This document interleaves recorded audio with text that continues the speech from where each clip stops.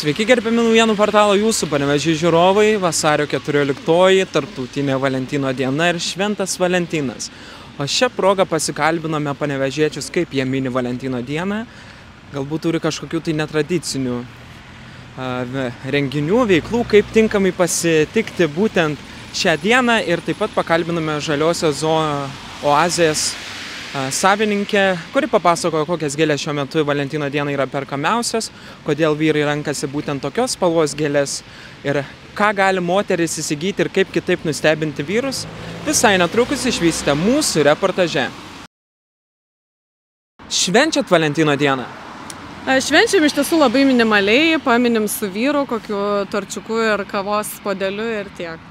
O kartais pagalvojat, galbūt reiktų dalyvauti kokiuose tai renginiuose, kuriuos organizuoja Panevežė miestas Valentino dienai? Kartais pagalvojam ir iš tiesų šiais metais mus e, visai netikėtai draugai pakvietė į koncertą, bus dinamikos koncertas 30 metis, tai va rytoj eisim Valentino dienos progai į dinamikos koncertą. Sakykit, ar švenčiat Valentino dieną, galbūt ją minit kažkaip netradiciškai? Kaip tai gerą mintį tokią paskaičiu, kad Valentino dieną reikia švęsti būtent kitom dienom negu yra Valentino diena. O kodėl?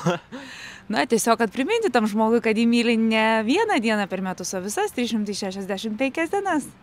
Tai kaip švenčia dažniausiai su savo vyru būtent šią dieną, kaip minit, galbūt išeinat į miestą, galbūt turite romantišką vakarienę ar dar ką nors? Na, kaip ir minėjau, aš e, labiau akcentuoju tokią kasdieninę meilę negu pavienę šventės. Tai kažkokiu dideliu akcentu šiai dienai konkrečiai ir nesuteikėme. Ar švenčiat Valentino dieną?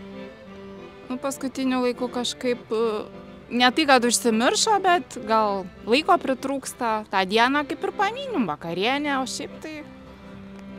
O ko būtent laukiat va tą dieną iš savo vyro? Gėlių. Gėlių. Kokių gėlių? Tulpės. O kodėl būtent tulpės? Pavasariu kvepia. O dalyvaujat mieste organizuojamuose renginiuose Valentino dienai skirtuose? Mm, nu, šiaip neteko dar nei kartą. Tai kaip suprantu, minėti Valentino dieną dar pravartu. Na taip, aišku. Švenčiat Valentino dieną? Taip. Kaip dažniausiai ją minit? A, su rodžių plokšte, kaip visada. Ir turbūt, kaip ir visi, turbūt su šampano taurė. O lankotės galbūt rengi, organizuojimuose renginiuose Panevežė mieste? O mes dažniausiai mažai lankomės ir dažniausiai arba pasibaigė tuom, kad baigėsi skane ir šaunė vakarienė viename iš kokiam restoranų panevežyje. O kitas variantas - dama padaro puikią vakarienę. O kokias gėlės dovanojat savo žmonai? Jau ką tik sakiau, rožės. Kiek jų dažniausiai?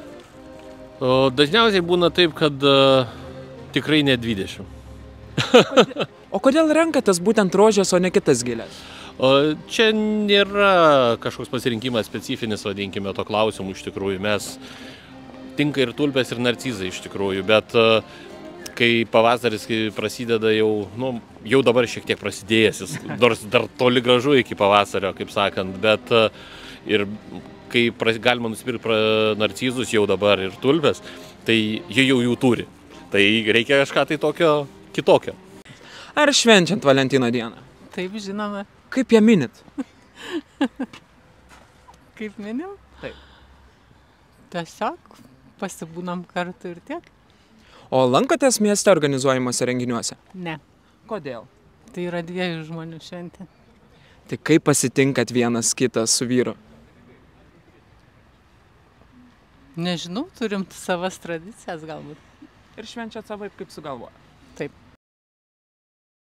Vasario 14 tikriausiai sulaukite žaliojoje zonai ne vieno vyro, kuris norėtų įsigyti pačias gražiausias gėlės ir jas padovanoti savo žmonoms. Iš tiesų turime nuostabius vyrus, kurie tikrai nepamiršta šitos progos ir galbūt ne tik ją e, prisimena, bet e, šita proga tikrai didelis būrys vyrų aplanko mus ir mes labai džiaugiamės savo nuolatiniais klientais ir ne tik nuolatiniais, kurie tiesiog būtent moteris nori pradžiuginti tą dieną. Tai vad labai džiaugiuosi ir jie tikrai gausiais būreis tai prisimena. O vyrai, kokias gėlės dažniausiai perka iš žalios sezonos? E, pastebim, kad mūsų klientas e, galbūt nėra daž- dažnas toks tradicinis, e, kuris mėgsta tą raudoną spalvą. Žinoma, e, yra galbūt kažkuri dalis, kuri būtent supranta valentinišką šventę su raudona rože, bet tikrai mūsų klientas labai mus džiugina ir jis ieško įdomesnio varianto, būtent galbūt tas laikas, kada mes artėjom prie pavasario. Tai tikrai išradingai e, patys gražiai žino ir kaip nustebinti savo moterį, merginą ir dėl to ieško pačio originaliausio žiedo, kuris tiesiog galbūt e, ją labiau sušildys ir ne tik tai tai galėtų būti mūsų žinomi žiedai, bet ir tie, kurie atsiranda tik dabar, kurie ir vedrynas, ir, ir mimoza, ir plukė įdomesnė, ir kažkokie va būtent tie žiedai, kurie tikrai įdomesni ir mes tikrai tuo pasistengiam jiems įtikti ir juos prisivilioti, netgi nepabijosiu to žodžio, nes tikrai mūsų klientas yra gražus, išradingas ir labai skoningas. Matau, matome, kad pas jūs ne tik gėlių asortimentas gausus, bet turit ir stalo dekorų, tai galbūt jie reikalingi moteriams norinčioms nudžiuginti vyrus. Iš tiesų, iš tiesų, vat iki šios dienos jau sulaukiam nemažai moterų, kurios nori pradžiuginti savo namus, kad ta šventė būtų jaučiama namuose. Iš tiesų, tai mes labai e, pasistengiam pasiruošti ir jas pradžiuginti savo ruoštų, kad jos rastų kažką išradingai, ar kokį pavasario motyvą, ar tiesiog kažką truputėlį augančio labiau, žydinčio, ar e, kažką su širdele, ar su kažkokiu tai elementu, kuris primena tą šventę tikrai moteris pas mus irgi ateina ieškoti savo namams dekoro tai šventiai. O kodėl vyrai renkasi dažniausiai raudonos spalvos gėlės? Nuo ko spalvos gali priklausyti? Kas tai gali įtakoti jų pasirinkimą?